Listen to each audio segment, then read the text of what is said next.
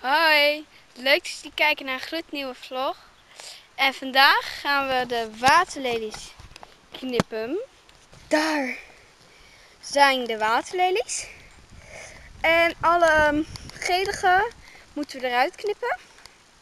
Dus laten we snel beginnen. En ik heb het heel koud, want ik moet in dit water. Dus laten we snel beginnen. Ja, hij doet gelige, zulke bladeren moet je afknippen en in de emmer doen.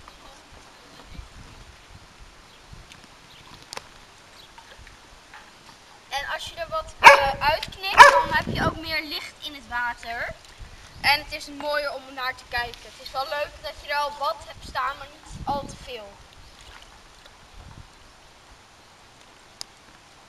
Het beste wat je kan doen om hem te uh, pakken, je pakt de waterlelie aan de steel en je knipt hem zo ver mogelijk af. Want ja, anders moet je hem de volgende keer weer knippen. En zorg ook dat er geen water in de emmer komt.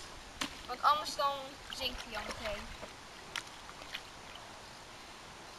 Dus heel ver en dan knippen.